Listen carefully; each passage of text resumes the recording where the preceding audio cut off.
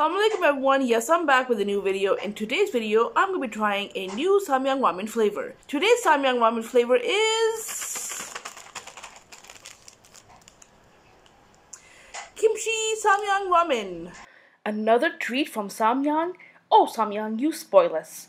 Now these are the noodle soup type and authentic made in Korea. The flavor is Korean kimchi.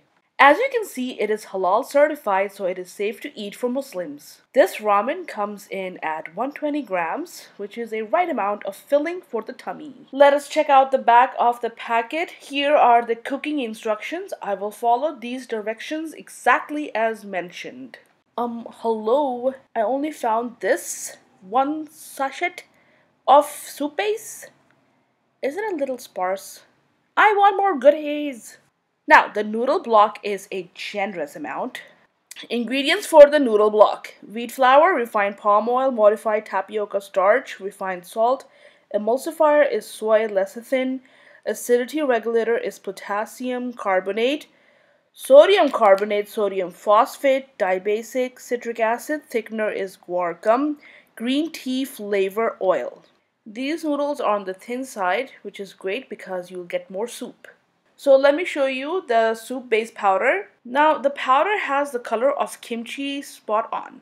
It does not smell spicy at all. The soup base is kimchi powder, napa cabbage, salt, hot pepper powder, garlic, ginger, salt flavor enhancer, monosodium glutamate, disodium ribonucleotide, soy sauce powder, white sugar, mixed spicy powder, chili, garlic, onion, yeast powder, dried bok choy, red pepper powder, acidity regulator is malic acid, dried kimchi flakes, napa cabbage, salt, red pepper powder, garlic, ginger, dehydrated chives, black pepper powder, red pepper seed oil, paprika, nature identical garlic flavor, caramel powder. Allergen alert! These do contain wheat, gluten, and soy. Let's get to the kitchen and cook this up.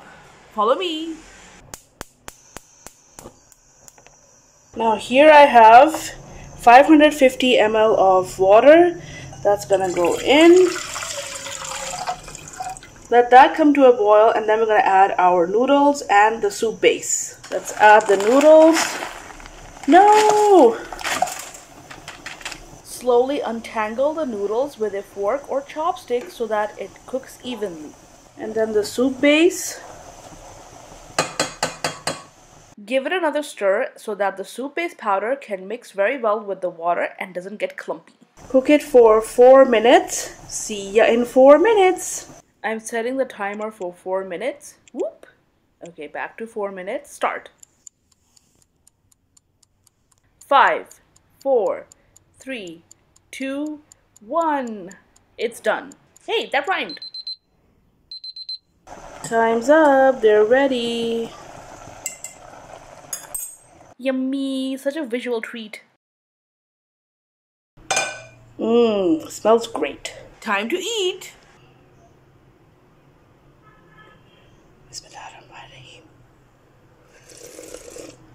Okay, so it's very nice to see that there were bits floating in the soup. The noodles are also thin. The noodles are going to take their sweet time absorbing all the soup.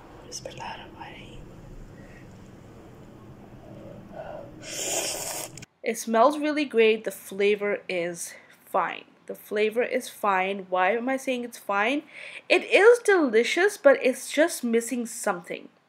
Now, it's missing heat. It's missing that spiciness. You know what Samyang flavor is known for. So this is not at all spicy. I think this is perfect for someone who doesn't like spicy foods. These noodles will be perfect for them. It is on the salty side and it's missing two things. First of all, it's missing, as I mentioned, spiciness. The second thing is the fermented pickly flavor. Where's that? Where's the umami? I have no idea what they have done to these noodles, but they have retained their firmness. They are so not soggy, they are not mushy, they are just so perfect and chewy. But again, this could be like a really good base uh, for a noodle dish. And then you could add like extra kimchi and then vegetables. So everyone, if you really enjoyed watching this video, please don't forget to like, subscribe, press the bell icon so you're notified of any future videos that I might post. Leave a constructive comment and share this video. I'll really appreciate it. As always, thank you so much for your support and encouragement. Thanks for watching. Until next time, Allah Hafiz. Bye. Jazakallah khair, thank you so much for watching till the end of this video. If you want to watch similar videos, please check out the playlist right here. Check it out.